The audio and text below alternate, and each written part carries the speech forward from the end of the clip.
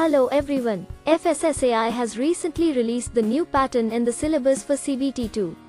Food Feeds has finally come up with customized course for the same. So, let's start with the basic question. What's the most important thing to crack exam? Well, when one wishes to prepare for any exam, he or she would need to find the study materials, along with knowing the syllabus and pattern of the paper followed by making notes, attending mocks which would give extra practice and confidence.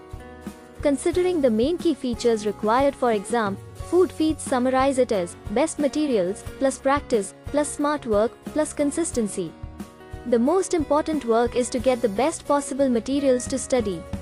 Food Feeds will be providing 50 plus references which are further classified based on the level of difficulty in materials. If you have extra time to study, then you can go cover additional materials as well. Is knowing the standard textbooks enough? Well yes, to some extent, but standard textbooks usually comes with numerous pages and information which takes lot of time to cover. Let's assume you are aware of all the standard textbooks and study materials for exam.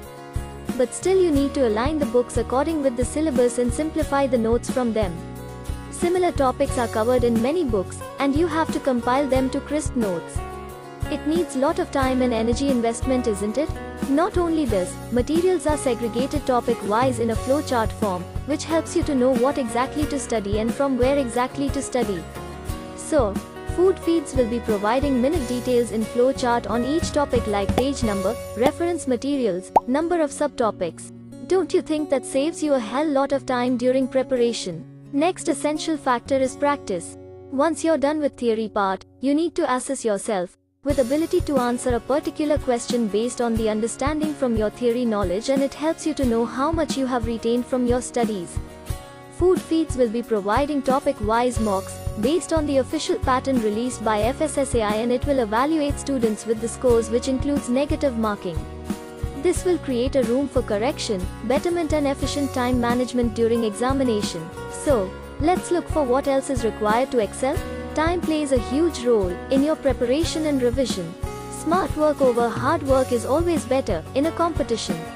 Choosing a platform which provides you all that you need for the exam will take you steps ahead from your peer competitors.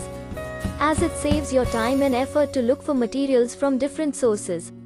Last, but most important one is consistency. It gives you better result. Food Feeds tracks you on individual level to check your papers and revert back you with marks obtained as per official marking system topic wise. When someone monitors you each day, consistency persists in your preparation.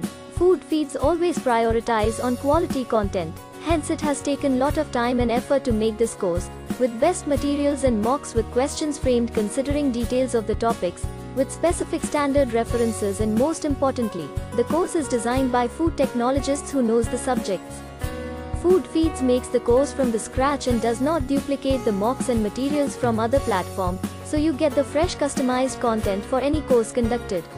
Please note Food Feeds will enroll maximum of 15 students only and is looking for dedicated students.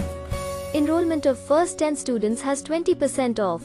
Enrollment starts from today. Do join Food Feeds Telegram channel for registration.